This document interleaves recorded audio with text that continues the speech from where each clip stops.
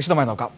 മുന്നണി മാറ്റത്തിന് പച്ചക്കൊടി വീശി ജെ ഡി യു നേതൃത്വം. മൂന്ന് ദിവസത്തിനുള്ളിൽ രാജ്യസഭ എം പി സ്ഥാനം രാജിവെക്കുമെന്ന് എം പി വീരേന്ദ്രകുമാർ പറഞ്ഞു. ഭാവി രാഷ്ട്രീയ നിലപാട് സംബന്ധിച്ച കാര്യങ്ങൾ ശരത് യാദവുമായി ചർച്ച ചെയ്യും.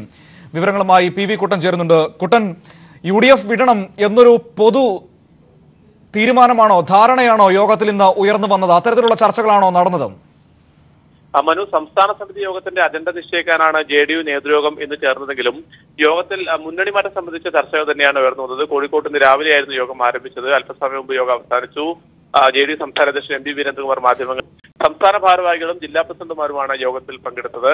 ഈ യോഗത്തിൽ മുന്നണി മാറ്റം അനിവാര്യമാണെന്ന അഭിപ്രായമാണ് ഭൂരിഭാഗം നേതാക്കളും ഉന്നയിച്ചത്. യു ഡി എഫ് വിട്ട് ഉടൻ തന്നെ എൽ ഡി എഫിലേക്ക് പോകണമെന്ന അഭിപ്രായം ഭൂരിഭാഗം നേതാക്കളും ഉന്നയിച്ചു. അത്തരത്തിലുള്ള അഭിപ്രായങ്ങൾ പ്രകടിപ്പിച്ചു.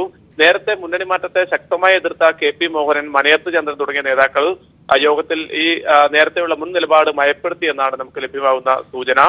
അതേസമയം ഇത് സംബന്ധിച്ച് വാർത്താ സമ്മേളനത്തിൽ പ്രതികരിക്കാൻ വേണ്ടി എം പി വീരേന്ദ്രകുമാർ തയ്യാറായില്ല. ഭാവി കാര്യങ്ങൾ തീരുമാനിക്കുന്നതിനായി യോഗം വീരേന്ദ്രകുമാറിനെ ചുമതലപ്പെടുത്തിയിട്ടുമുണ്ട്.